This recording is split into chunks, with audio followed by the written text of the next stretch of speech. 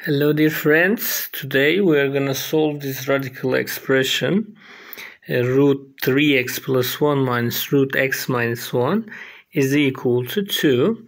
Now before squaring both sides, let's have one of our roots on the other side and write this as root x minus 1 plus 2 and let's square both sides here we will cancel these two and write just 3x plus 1 and here we have square of a sum. So the square of four first one and plus 2 times the multiplication of 2 which is 4 times root x minus 1 plus square of 7 then we will have 3x this x can be sent this way. We will have 2x and this negative 1 and plus 4 will be plus 3 and if we have this left hand side it will be minus 3 then we have 2x minus 2 is equal to 4 times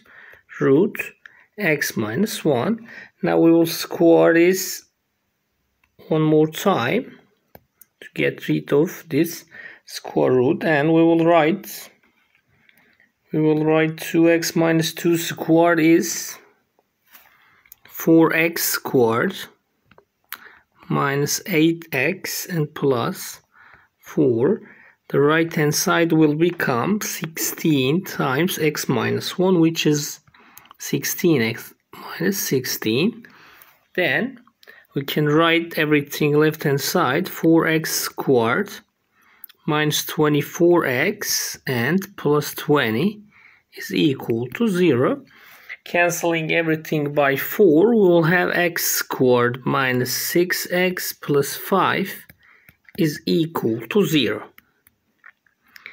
And factorizing this, we can write x minus 1 times x minus 5 is equal to 0. So x can be 1 or x can be 5.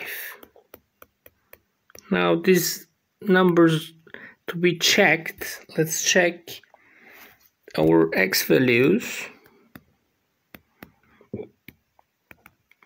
For x is equal to 1 let's remember our original equation. That was root 3x plus 1 minus root x minus 1 is equal to 2 for x is equal to 1 we have root 4 minus root 0 and this is equal to 2 minus 0 that is correct. And our second candidate was x is equal to 5 we have root 16 16 minus root 4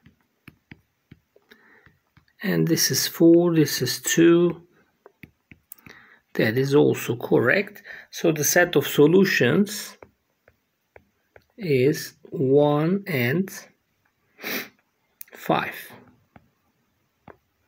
Thank you for watching and see you in the next videos.